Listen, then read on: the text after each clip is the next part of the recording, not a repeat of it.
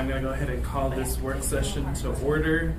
Uh, it's the second work session on AO 2019-142, amending the Anchorage 2040 land use plan, and AO 2019-143, rezone of Poland Park. Let's go ahead and start with introductions on this side. Cameron Perez-Verdia. Pete Peterson, Austin Davidson. Thanks, Zaletel. Felix Rivera. Dave Whitfield Planning. Francis McLaughlin Planning. Okay. Mr. Chair, Oh, yes, Mr. Constant, you on the phone? yes. Okay. Um, so for today, um, we have a couple of uh, special limitations to review. Um, one by members Quinn Davidson and Perez Verdia, and then one by members Constant, Quinn Davidson, and Perez Verdia. Uh, and then um, after reviewing these, if we have time, I think we have some folks in the audience who might have some words for us. Um, so, um, who wants to start on I these can two? start. Okay. Yeah. Um, is that okay? Oh, yeah, absolutely. Okay. Um, thank you, everyone, for being here. Um, we've been talking, uh, Cameron and Chris and I, about, and I think me with a lot of constituents, and probably Cameron too, about making sure that we don't see any gas stations in this location. I think that's a primary concern of my constituents, and I like to um, suggest that we add that as a special limitation. So that's the first one, and Francis helped um, prepare that. Did you want to say anything else, Chris?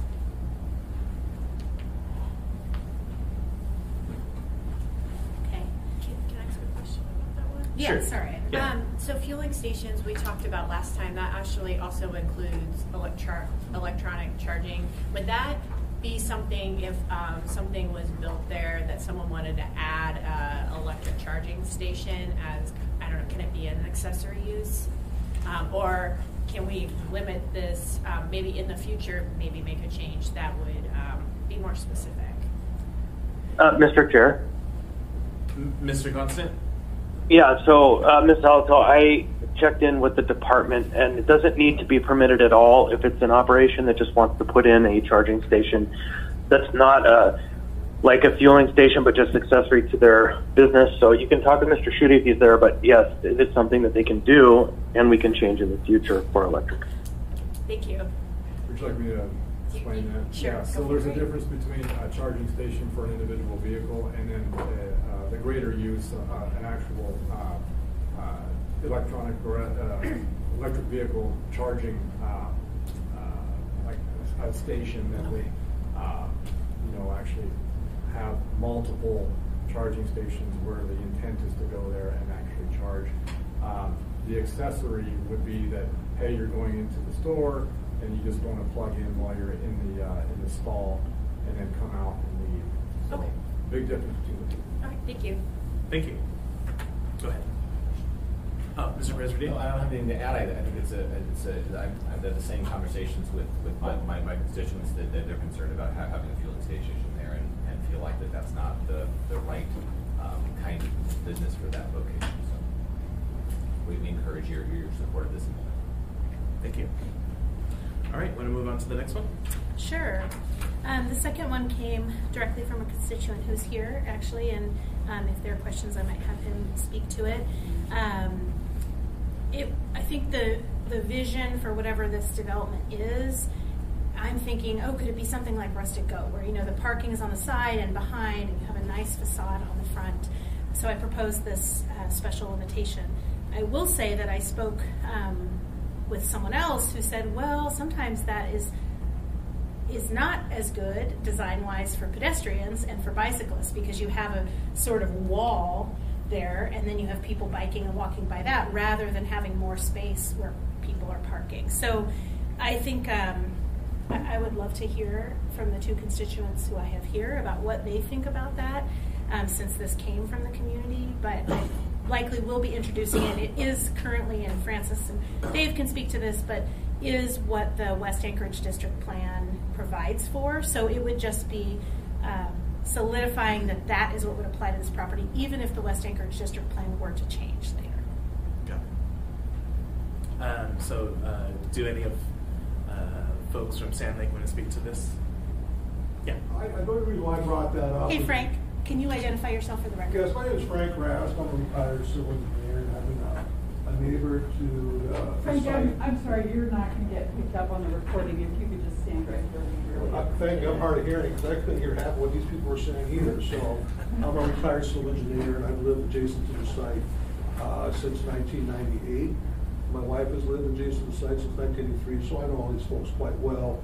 Uh, the only reason I brought that up was because what I saw, um, from the draft P and Z meeting and public testimony, that they were gonna put in limitations that strictly conform to what the Anch- West Anchorage District Plan said on, on page seventy-six. And then all of a sudden, I hear this final, it's all scaled back, that, that, that's all gone. And so I brought this up because I thought that was specific in the West Anchorage District Plan as a requirement for the site. Well, now that I see that, um, they want major site plan approval to conform to the West Anchorage District Plan and how it's described, I don't think that's necessary anymore because the West Anchorage District Plan specifically says what's allowable on the site. It includes access, site access, pedestrian to the adjacent zoning, and also requires the types of developments that the developers described, which is, which is bakeries and, and small scale communities and things of that sort. The community has always been opposed to gas stations, and so when you say fueling stations, I would just say, uh, gasoline stations that require underground storage are prohibited, because the, the, the, uh, the concern in the neighborhood always has been aquifer, aquifer as aquifer that, the, the geology is very complex. And I, I think the community is, is, is concerned about two things, the, the type of traffic gas stations bring into pollution. So, uh, I'm, I'm willing to concede that this park can be signed behind like rustic goat. To be honest with you, you really said what they want to do the site, I, my sense is they really don't know either. They just want to get the rezone done, address, address the site plan requirements, when they really have some kind of idea what they're, what they're gonna do. Um, and that, I've heard that from them, that's my sense. So, so I, I think you put in strong language that this site development for B one A conforms to the specific requirements of the West Anchorage District Plan, so that, so that when this moves beyond, that planning and building safety have some, something to, to review, I mean, to, to, to look at when, when these things are submitted. Just Can I, simple can I ask you a B1A question? zoning. Frank, Sorry? can I ask you a question? Sure. So it already would have to conform to the West Anchorage District. Uh, yeah, yeah, but, but, uh, there's a lot of things in West Anchorage District Plan that you could say one way or the other too. I mean, does it have to conform to, to not, uh, be an attractive nuisance? You know, like, like the gas station, the Holiday gas station at Jewel Lake and Eightieth has been described as, so how, how do you, how do you conform to that? Unless you put something specific in black and white in the special limitations, you're open to anything, anything in that plan or, or zoning or anything else. That, that's my opinion.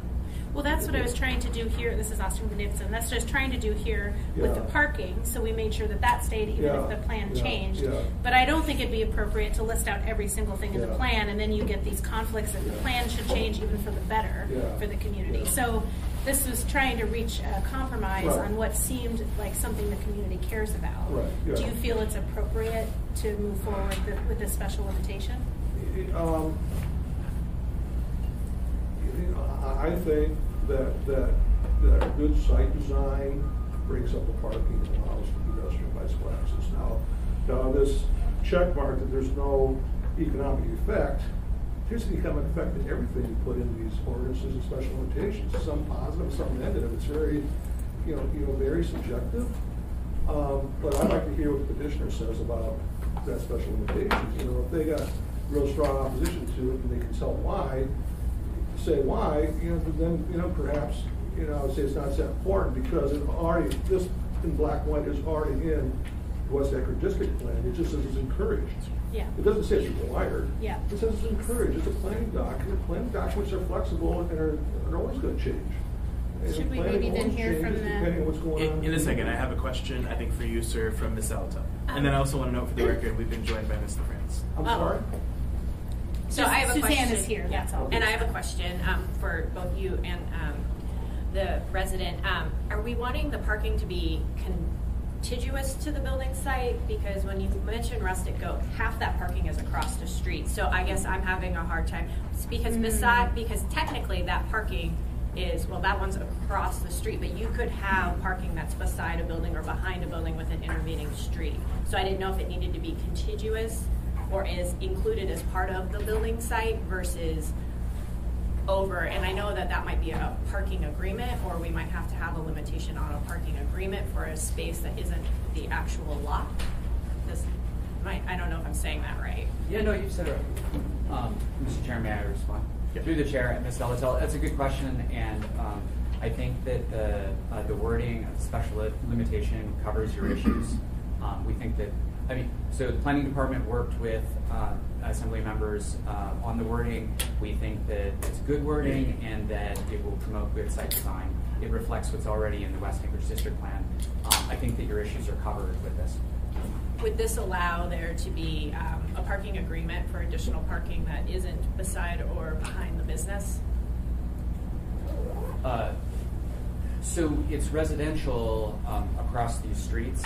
Uh, So on property, this would require parking to be behind or on the side of, of, of uh, the the building.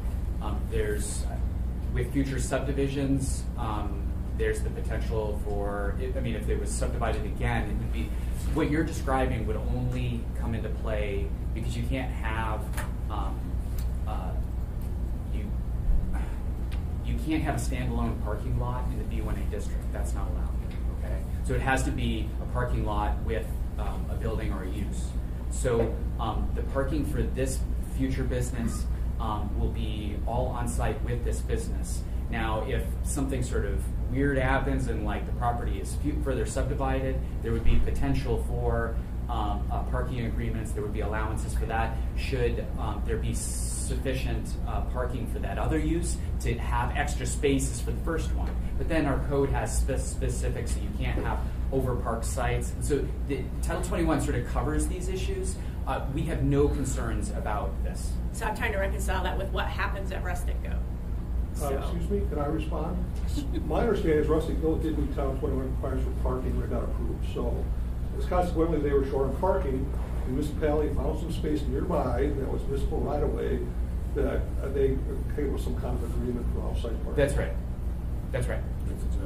So I don't know how it got approved, other than somebody pulled some strings. And, and this shouldn't happen here, so. It sounded like Mr. Whitfield had a response. Yeah, as I was, I was just gonna respond to, uh, the parking issue. I think that, um, the language that we're, we're proposing here covers, uh, I think the concern that you have, Ms. Valdo.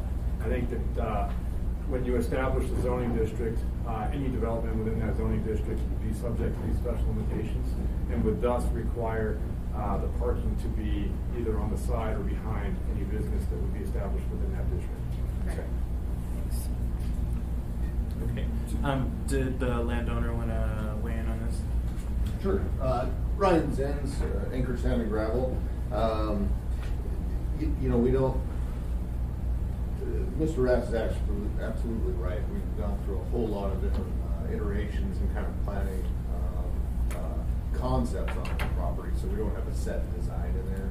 The only thing that's slightly, I would say concerning is when we start adding limitations, because I'm not sure what that really does and if things change. And that's why I think the uh, major site plan review would be the best vehicle for that. If there is something changed, that we can work within that, and we're not uh, in conflict with something that happens in the future in a planning department because of stipulation here. Uh, the, the, the gas station, that, we're fine. I mean, that's something that, that we would like to give the community. We've, we've been adamant, that's not our intent to put a gas station there, so we're, we're okay with that, uh, uh, limitation. But the other one, I would, I would, uh, would prefer that we go through the major site plan review so that we can know where we're at, and if there is issues with parking, it would be addressed with the planning at that time. Would be our preference. Thank you. Want to note for the record, we've been joined by Ms. Kennedy. Uh, Mr. Peterson? Thank, thank you, Mr. Chairman. And I was just gonna say, uh, the, the reason that we, uh, changed the, uh, allowed parking at Rustic Goat was because it got to be a public safety issue with with people parking on both sides of the street and traffic backed up on the northern lights as they were waiting and trying to figure out where they were gonna park down there. And so we allowed that parking lot across the street to be developed to try to reduce the potential for traffic accidents and injuries. Thank you. I I think I'm the only one left on the body that was involved in. We were around too. All right. Um, any other? Uh, Mr. Constant. Thank you. Yeah, I just would like for the members of the public that are there uh, from the neighborhood for the planning department to describe briefly what major site plan review means. I read some emails from members of the neighborhood who seemed to believe that that was simply an administrative process.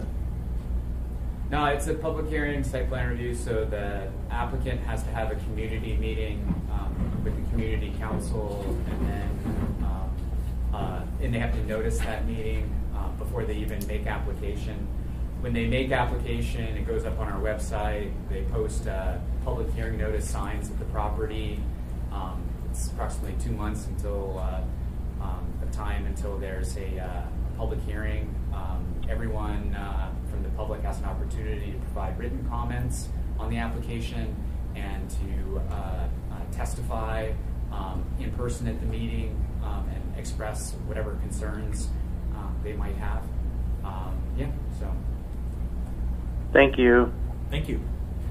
Uh, Mr. France. Thank you, Mr. Chair. Apologies for being late. You've probably covered the questions I have.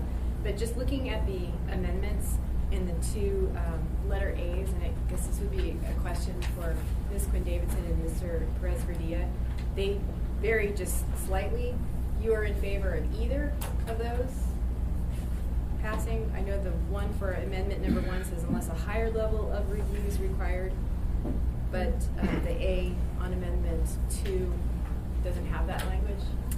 I'm going to ask Francis to respond because he drafted that language. We had some discussion about it. It was the, the intent of at least what made it into amendment number one was to not limit us if there were even better requirements for the community at a later date. But I don't. Do you think that should also be in the amendment number two? Yeah, Is that I what mean, you're suggesting, Suzanne? What, what I had envisioned, because you know, different floor plans, what I had envisioned is ultimately the assembly will probably seek to um, approve um, all of this change language, everything underlined to go in. So, um, Ah, so the one floor would already amendment cover one- it. Got it. Yeah, so it's just Yeah. all the underlying language to go in. I was trying not to make it complicated, duplicative. Okay.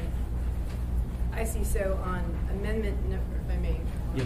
um, Amendment number two is only adding the underlined section? Yeah, Because I didn't want to be repetitive and Okay. have the stuff in floor amendment Yeah, one, because just then it gets confusing. That's what I thought. Okay, that makes sense, thanks. And may I follow up with another question? And I remember from last time, the discussion of of fueling stations, it was noted that fueling stations for electric cars then would also be prohibited, and that is the case? Yeah. Okay.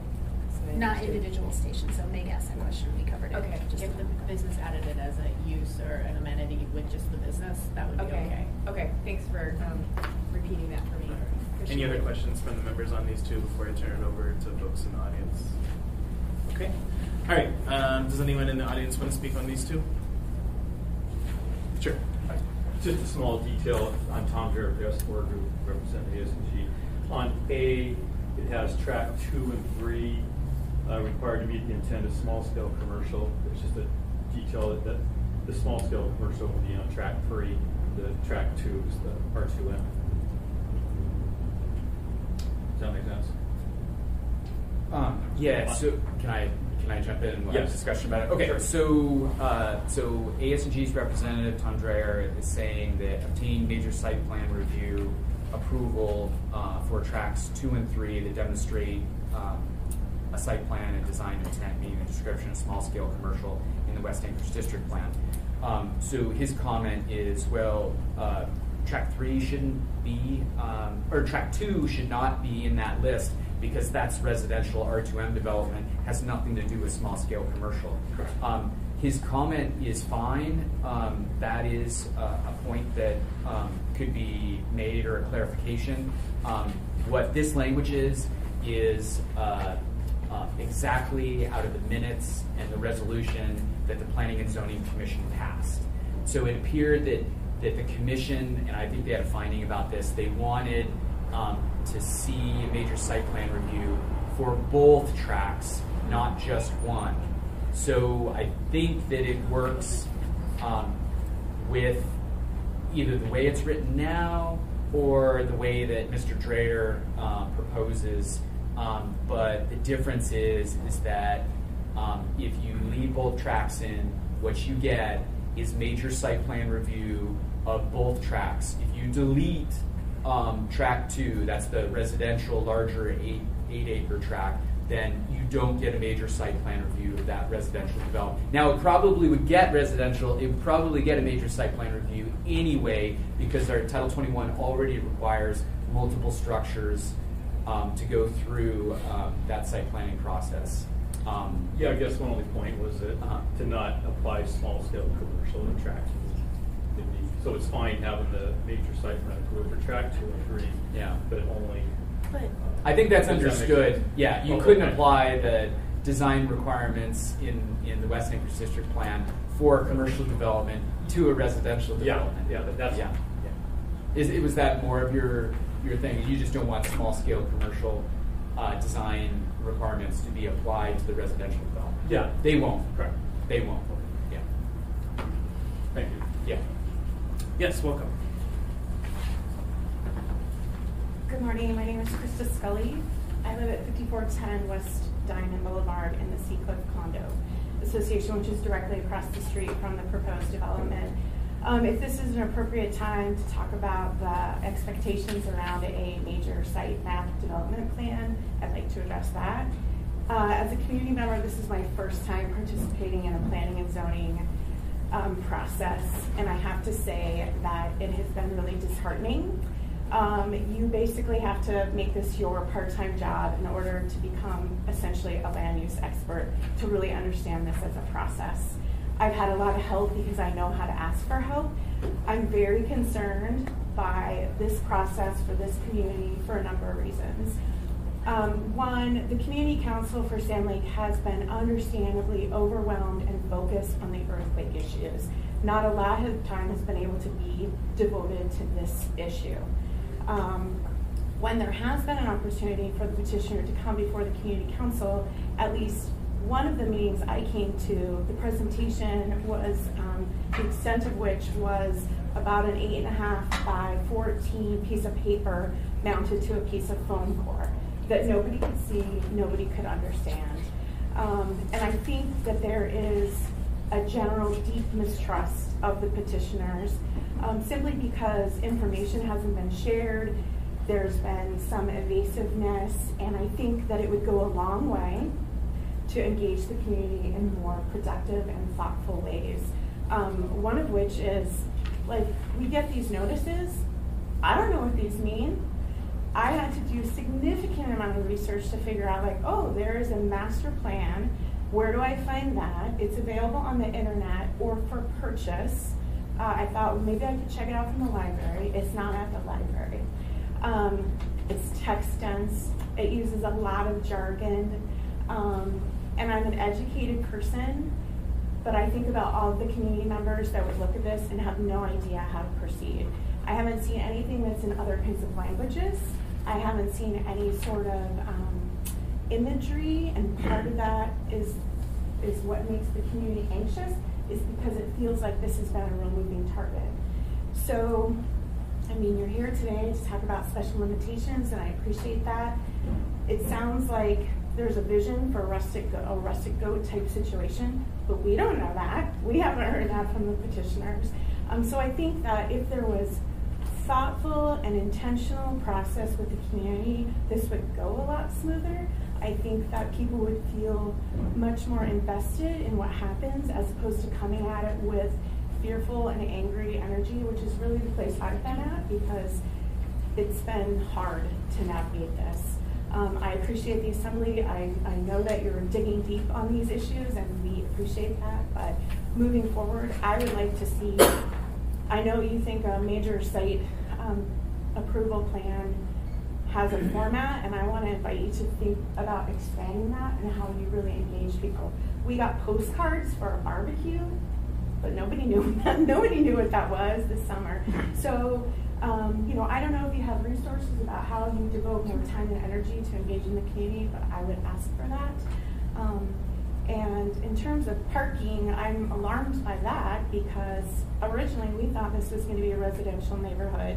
Now there's going to be a business. Now there's going to be additional parking for even more people coming in and out of the neighborhood. And, and so I just really ask you to be um, thoughtful about the public process. You've seen hundreds of comments from people in the neighborhood. When we showed up for planning and zoning, staff had already been made aware that the community was really concerned about this. So I, I would like you to really take heed as to what people are saying um, in this process. So thank you. Thank you. Mr. Chair. Uh, Ms. LaFranson and Mr. Constant. Thank you, Mr. Chair. Actually, um, the question for you, thank you for coming and, and for your comments and your feedback about the process. I think that um, if you've got some specific suggestions, like you mentioned today, if you wouldn't mind emailing us them, I mean, maybe for the CEC committee discussion. Yes. And then I wanted to ask, is there any specific information that you want from the developer that you feel like you haven't received, I mean, specifically at, at this point? Um, I mean, at this point, I think I would have had different questions before. When I bought my property now 10 years ago, I was told that parcel of land was slated for soccer fields, which is part of the reason why I bought in that neighborhood because I thought, oh, that would be undeveloped. Um, I guess the train has left the station. There was, uh, the community believed that. So I'm sorry, that's not a really direct way to answer your question. I'd like to think about it a little bit more, Sure. but I definitely will have questions. Thank you. Yeah. Thank you, Mr. Chair. Uh, Mr. Constant. I just wanted to say hi to Krista Muscoli and say thank you for showing up. It's super important and valuable that you did. Thank you. Yes. Thank, thank you for allowing me to come up a second time. Again, my name is Frank Rast. Uh, I'm a retired engineer. And one thing I want to say about the process, it's very convoluted. Uh, the developer had to run through a number of different jumps and hoops and steps. Some of them required public notice, some, some didn't. I would say, I talked to Tom, I, I thought a better approach would be to maybe have, come up with some kind of simple flow chart that could show, you know, where they're at, because they come to these meetings with a presentation that gets conflated with other things that were in the process on a hoop they'd already jumped through. And so some people come late in the process in the community, some people come early, they miss a meeting. The, the community council itself has been in turmoil since the earthquake because we had a change in president. We had people coming in temporary, they didn't know what was going on. That's no excuse, but I'm just saying the process can be very convoluted. People don't understand the process. Uh, the postings all have a website that you can go to. I don't think people really understand the- how the portal works. And I think there's maybe a little more public communication to community councils on the portal that people can look at and see where we're at and what's going on in the community council. That way, a lot of the questions may be answered even before they come to these meetings. And ev- everybody is pretty tech now, so I just don't think a lot of people in the community councils are aware of this portal and how you get the information.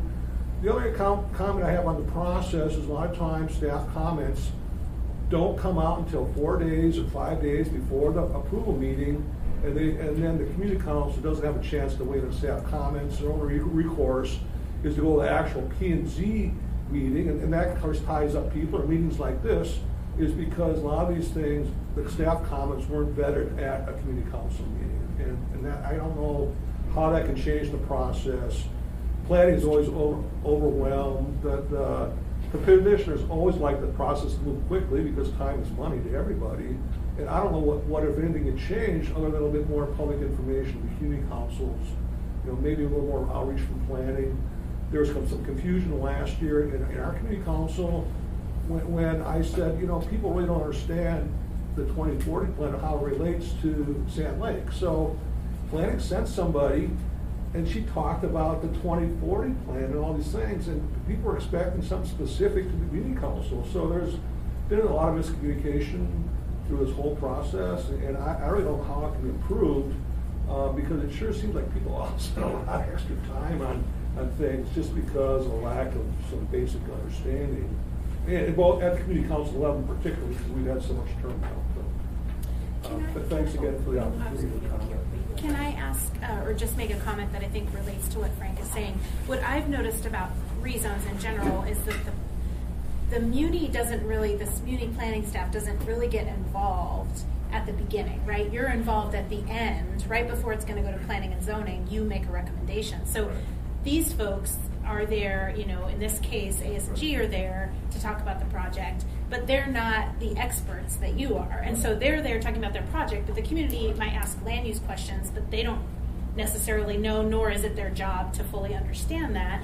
So then, but then, so there's like months of that, and where everyone's kind of like, "What's going on?" And then at the end, you guys show up right before P and Z and say, "This is our recommendation," and then everyone's confused, and it happens quickly. So, I think their comments, both of them, in that respect, are totally accurate. And I wonder if it's possible, and it's a staffing thing and it's a cost thing, I'm sure, um, but to have the Muni staff more engaged from the beginning on rezone petitions so that the public gets a better sense of what's actually going on. Um, through the chair, uh, Dave Whitfield, Planning Department. If I can just respond to that. Um, first of all, thank you both for your comments. We really appreciate it. Uh, we're always looking for opportunities to improve our process, uh, improve our, our community engagement. Um, but you're, you're right. Um, we don't typically take uh, an active role at the beginning of a, of a case simply because we're trying to remain impartial. And if we haven't had the opportunity to review the documents that have come in from the, uh, from the petitioner, um, we can't uh, approach the community council and, and give them an indication as to how we might uh, uh, see a particular case. So we try to remain impartial until we've had the opportunity to review uh, the documents and make a recommendation to uh, both the Planning and Zoning Commission and to the Assembly. Would it, can I follow up, Mr. Chair? Would it be possible, though, not to make a recommendation, but say, um, you know, a month before P and Z or many months before, but where you're familiar with the, the petition because it's been submitted, you come and just talk about what that means and what's a major site plan and if it's required, this is what would happen Right. or this is the current zoning because I think that gets a little mixed up at the community council meetings. Yeah, I know. Um, we get uh, on occasion uh, requests from community councils to come and, and present to them, uh, not just on rezones, but generally speaking on, on all things planning. Uh, and where we have uh, uh, the resources to do so, we absolutely will. So maybe that's a message too, is getting the community council early on to pass resolutions that say, we want to have someone from planning come and talk to us about this. Uh, Planning is really stretched thin, and the resources, ability to come to to meetings, especially at night, when they really, things like- my suggestion is, invite the community council to the pre-application meeting, and then they'll see right up front, you know, what's going on. My- My concern is there hasn't been a lot of transparency, and I've been to pre-application meetings, I know exactly what happens. The developers lobby planning to cut corners and, and, and to squeeze stuff in. And I think if you really want to get the community councils involved in, in the community, what's going on in the community, invite the community councils to pre-application meetings. And they can choose to attend if they want to. Thank And I'm, you. I'm not sure why that can't happen. I'll let you respond in a minute. I have to move on. So, um, want to note that we've been joined by Mr. Weddleton, Ms. Zaletel. Um, thank you. Um, along this vein, I think a lot of folks don't understand what the um, proposed uses might be in the in the proposed zoning um, change. So, the idea I'm going to toss out as we have this conversation because it happened in some other rezones is one um, to be really clear that when you're proposing a rezone or the applicant's proposing a rezone, they don't have to tell you what they're going to do with it, but you do need to know what would be allowed there. Is that perhaps a handout that says B1A allows these with you know right out of the, the handbook, the chart, um, and then like a little glossary of conditional use, site plan, you know, just a few glossary terms so that the applicant can pick that up when they apply and they can like have that to hand out at meetings because I think folks don't know what goes into each zoning district. Um, I spend a lot of time with the land use um, categories, but a lot of folks don't, and they are hard to find. So I think that actually would go a long way to empowering residents um, and maybe some kind of informational, same kind of like easy direction when you get that. Because I think that's the big thing. I think we have to demystify what the potential zoning might be, and it, zoning is hard. Yeah, I mean, that's a good comment, um, Ms. Zaletel. Uh, I view my role as uh, uh, providing accurate uh, information and helping explain things uh, to the public in the simplest way possible. And I think I'm really good at it. Um, the uh, posters that are posted at the property have the planning department's phone number on them um, and the case number. The mailers that, that go out um, have uh, planning department's phone number on there. Um, community council presidents and boards and individual members of the public regularly call us and email us, and um, I provide all the information and transparency that I could possibly provide. And because uh, I've lived here a long time and worked on a lot of projects, I have you know whole neighborhoods and subdivisions memorized, and I can speak off the cuff about um, what I know about the property and what possibilities there are. And um, so that is to say that you know with the first speaker, um, yeah, it would be really hard for uh, you know a homeowner to um, know that the property owner is proposing to rezone the property, this comp plan amendment, and then we'll come with a conditional use amendment sometime in the future. That would be really confusing. So the mailer that they received and the sign that's posted to the property says, you know, call the planning department 343-7943. And if you call, we'll pick it up on the first ring and um, go beyond answering your questions and explaining things and tell you everything that we can to help you feel comfortable understanding what's going on. Um, and if the uh, uh, if a future applicant has this community meeting before the planning department has even gotten involved, they can still, I mean, you know, Frank here as what he said is true and that, but he regularly emails and calls us, and I try and answer what I can. Um, he's really sort of up on this stuff, so but but uh, you know, we will um, you know answer questions and um, cut through and explain things, and I just think that uh, um, that has to be said. Um, I would say Francis has been very responsive to me over the last ten years, but that doesn't detract from the fact that the uh, community councils often uh, get involved in the process after a lot of things have been agreed to between planning and uh, petitioner. And I, I really think that the community council, and I'm not sure if it's an order or some requirement, why a community council can't be invited to a pre-application meeting, but you know, maybe I'm missing something here. Well, it sounds like you can. What do you want to Mr. know Chair. about it? No, Mr. Chair, if- thank you.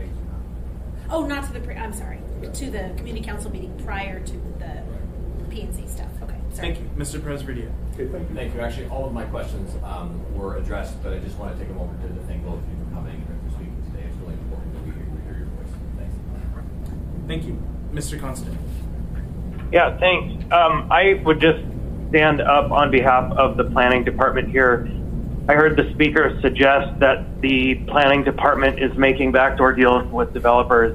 In the end, what's happening there is the developers are coming in for their property right interest, coming and asking the question, what can we do? How should we do this? I don't personally believe that's a place for community council input.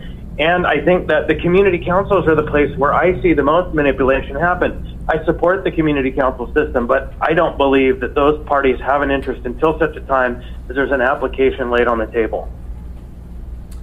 Thank you. Um, any other comments from affected parties? Uh, sure, one, one more from you.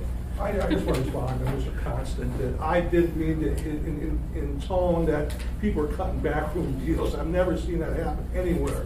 What I have seen though is petitioners come in, I've been to these meetings and ask, what changes can we make to the zoning to accommodate changes in the community since these plans were issued? That's not a backroom deal, that's not what I connotated, so uh, respectfully, I, I just hope that you understand that was not my intent and what I said. I've never heard of that happening in in Anchorage, but thank you. Thank you. Okay, uh, any other comments from the members? All right, thanks everyone.